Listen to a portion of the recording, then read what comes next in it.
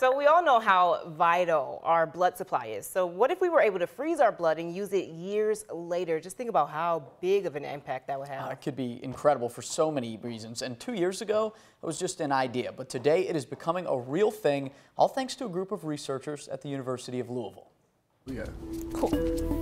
Others have tried it, but few have come this close to solving our nation's shortage of blood supply and saving lives. It's actually amazing how much progress we made. That's U of L's Michael Menze, who's working with a group of engineers and biologists to prolong the shelf life of our red blood cells.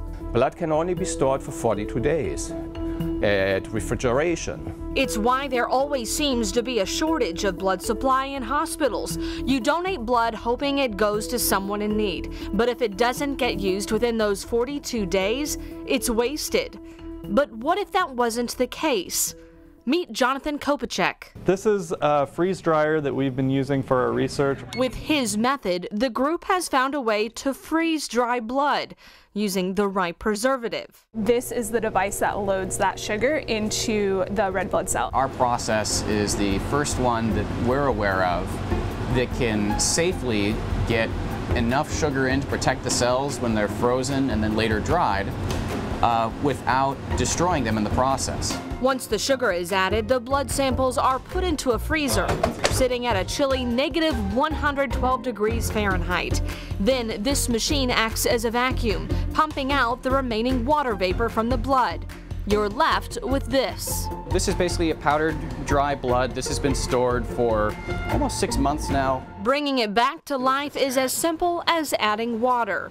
Samples have already been tested with rats, and it's working. We could save many, many lives. There is still a ways to go, but the hope is to have this available for humans in the next five years.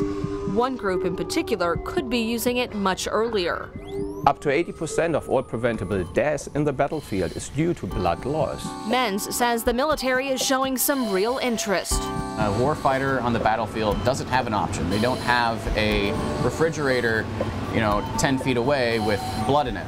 So for them, about halfway through clinical trials, they might uh, authorize emergency use. So if somebody's on the battlefield, they're losing blood and they have no other chance of survival, then they can take an experimental treatment where they receive a rehydrated blood transfusion.